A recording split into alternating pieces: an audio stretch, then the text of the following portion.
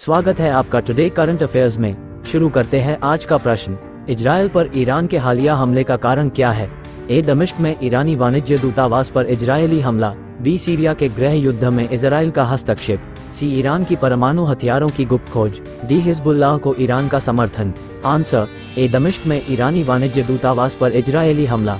Explanation 13 अप्रैल 2024 को Iran ने 300 से अधिक ड्रोन और मिसाइलों को तैनात करके इसराइल पर एक अभूतपूर्व हमला किया। ये हमला 1 अप्रैल को सीरिया के दमिश्क में एक ईरानी राजनयिक परिसर पर इजरायली हमले के प्रतिशोध में था। अगला प्रश्न। हाल ही में जारी वर्ल्ड साइबर क्राइम इंडेक्स में भारत की रैंक क्या है?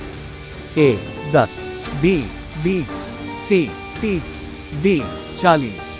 आंसर, ए, दस। एक्सप्लेनेशन हाल ही में शोधकर्ताओं की एक अंतर्राष्ट्रीय टीम ने विश्व साइबर अपराध सूचकांक जारी किया है।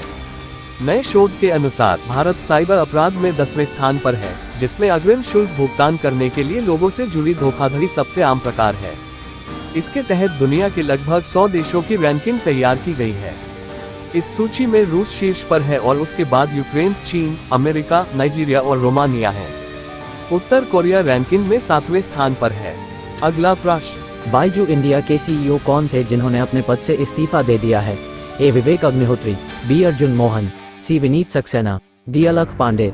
Answer, B. Arjun Mohan. Explanation Byju India के सीईओ अर्जुन मोहन ने एडटेक कंपनी के सीईओ पद से इस्तीफा दे दिया है। बाइजू इंडिया का नेतृत्व अब संस्थापक बाइजू रविंद्रन करेंगे। अर्जुन मोहन ने एडटेक कंपनी के बढ़ते संघर्षों के बीच सिर्फ़ सात महीने बाद इस्तीफा दे दिया है। हाल के महीनों में लगभग 1,500 कर्मचारियों ने कंपनी छोड़ दी है। पिछले साल एडी ने कंपनी के संस्थापक बाइजू रविंद्रन और कंपनी के बेंगलुरु स्थित परिसरों में तलाशी ली थी। तब उसे विदेशी फंडिंग से संबंधित कानूनों के उल्लंघन से जुड़े कई दस्तावेज़ और डिजिटल सबूत मिले थे। अगला प्रश्न विश्व कला दिवस प्रतिवर्ष कब मनाया जाता है? ए बारह अप्रैल बी तेरह अप्रैल सी चौदह अप्रैल डी पंद्रह अप्रैल आंसर डी पंद्रह अप्रैल।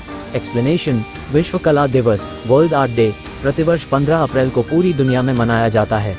ये दिवस कलात्मक अभिव्यक्तियों की विविधता के बारे में जागरूकता और कलात्मक कृतियों और समाज के बीच संबंधों को मज़बूत करने के उद्देश्य से मनाया जाता है।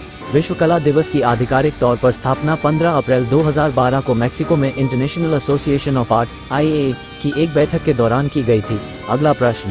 हाल ही में किसे राष्ट्रीय महिला हॉकी कोच नियुक्त किया गया है?